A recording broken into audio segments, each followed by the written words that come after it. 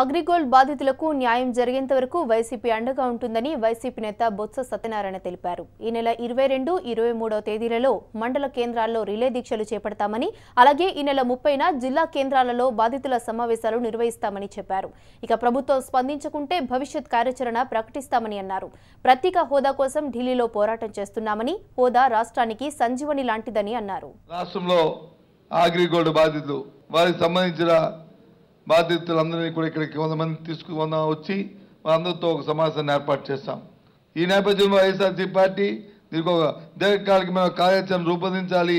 ఈ ప్రభుత్వం ఒత్తిడి తీసుకురావాలనే ఉద్దేశంతో ఈ నెల ఇరవై రెండు ఇరవై ఇరవై రెండు ఇరవై మూడు తేదీల్లో ప్రతి మండల కేంద్రంలో కూడా ఆగ్రిగోల్డ్ బాధితులతో నిరాహార దీక్షలు చేయాలనేది చేసి ప్రభుత్వం ఒత్తిడి తీసుకురావాలని నిర్ణయించాం.